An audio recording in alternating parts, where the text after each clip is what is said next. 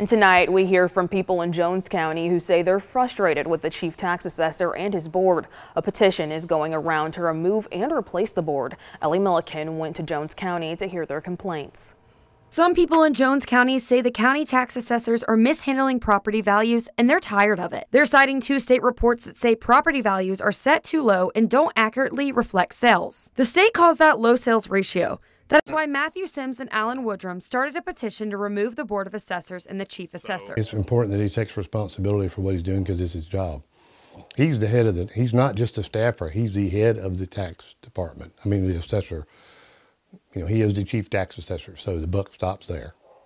That's why he needs to pay attention and be responsible for what he's doing. Matthew Sims has lived in Jones County since he was two. He raised his children there and wants Jones County to stay great but he is worried the tax assessor and board could start costing the county more money. The audit is there to be viewed. So I don't know why he's not looking at the same criteria that the state is looking at.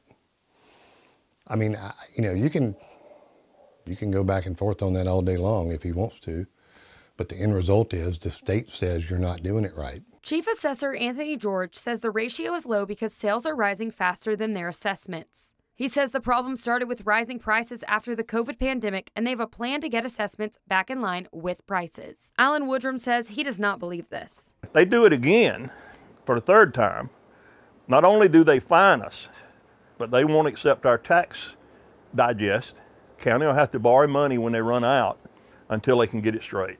George calls it a fixable situation that won't last, but Sims and Woodrum want to know why this has happened twice in Jones County, Ellie Milliken, 13 WMAZ News.